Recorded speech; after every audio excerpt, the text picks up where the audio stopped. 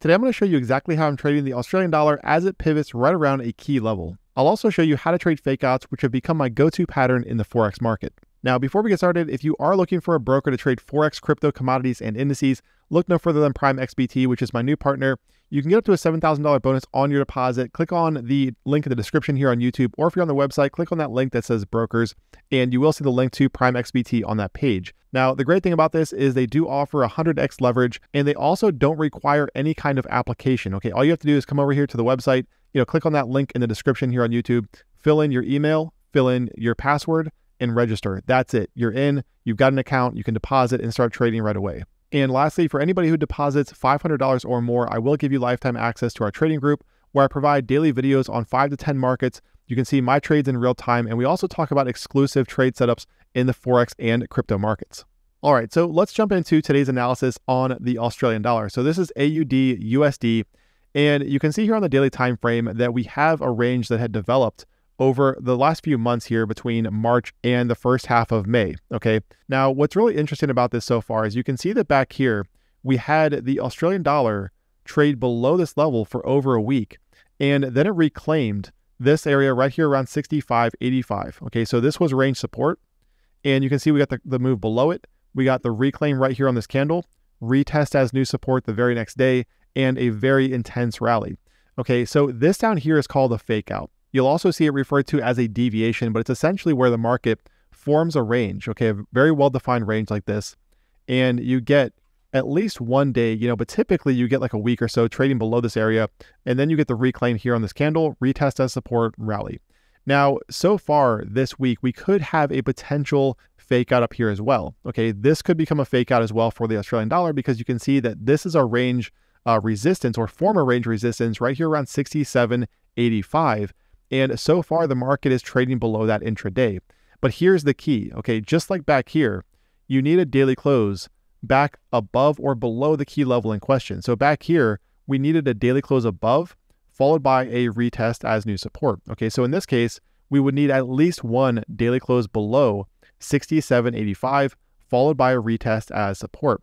And preferably, I'd like to see at least you know, one day, preferably two days though, below this level to confirm that this up here is a fake out, just like this was a fake out down here. All right, so this is going to require more time because what you'll notice is yesterday the market did close above this level.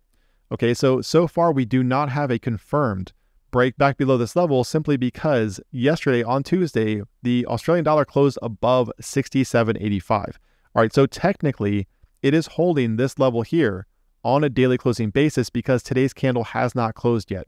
We still have about six hours left and a lot can happen in six hours. So here's what I'm looking for with this pair. All right, if the market holds above this level, all right, let's map out the bullish scenario first and then we'll talk about a bearish scenario. But if the pair holds above this area this week, all right, we likely get a bullish pin bar from up here.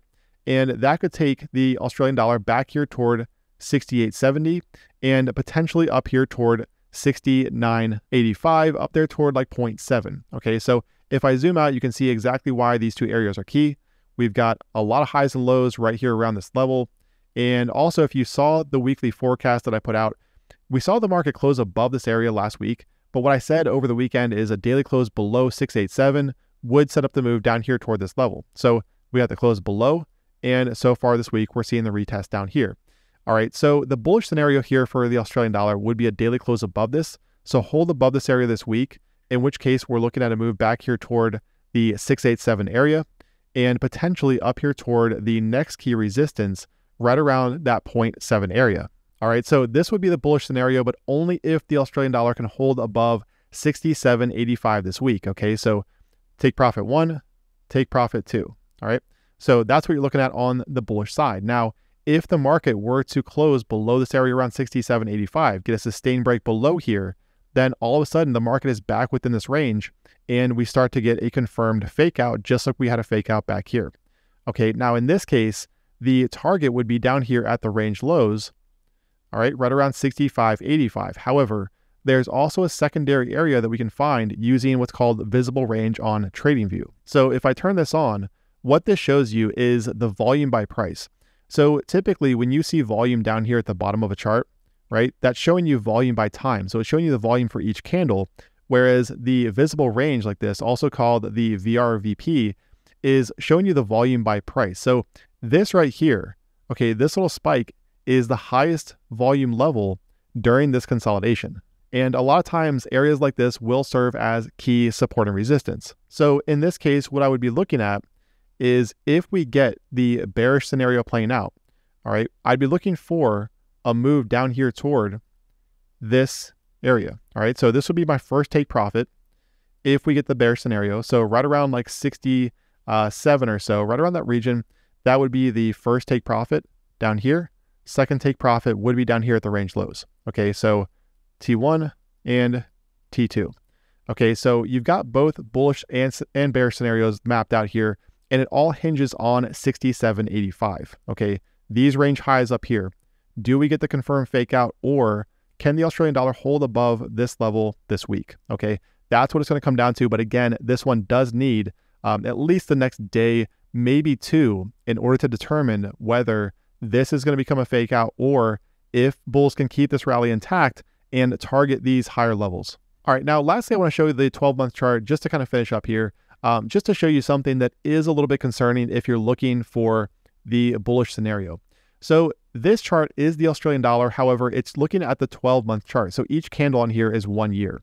Okay, so it takes a very long time for one of these candles to form, uh, which makes this chart extremely significant when you get a key support or resistance level uh, developing. Okay, so looking here, we can see that this area right around all these lows and closing prices here on the, the 12 month time frame is going to be significant. And that comes in right around 0.7.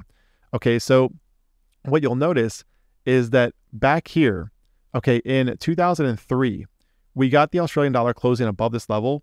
Since that time, this level at 0.7, okay, right around that area, has served as support on a yearly closing basis. Notice how even back here on this candle, we got the wick all the way down here, the market closed back above, okay? Now, notice what happened last year, right? This candle closed below the 0.7 area. And so far this year, we are seeing a retest as resistance. Okay, it's holding below it. So close below, retest as resistance. So this is kind of one reason why I think you have to be a little bit careful with the bullish scenario uh, with the Australian dollar. And furthermore, you know, like I've mentioned on Twitter a lot, uh, the S&P 500 is coming off of resistance, and the Australian dollar does tend to follow U.S. stocks. Okay, so between this and also the stock market, I think you have to be a little bit careful, um, you know, looking for that bullish scenario. But once again, it is really going to come down to, you know, where the market closes around this level this week. Um, I would prefer that we get a fake out. And the reason for that is, first of all, fake outs can be um, extremely reliable, just like the one back here. Okay. And also the fact that the risk to reward here is a lot better on the downside because even though this is your first take profit, really, if we get a fake out up here, I think we're headed back down here toward these range lows. And I would much rather trade a higher probability setup like a fake out like this down here toward these levels than try to long a very aggressive pullback like this up here toward these levels, especially when this right here was actually a mini fake out above that 6870 area.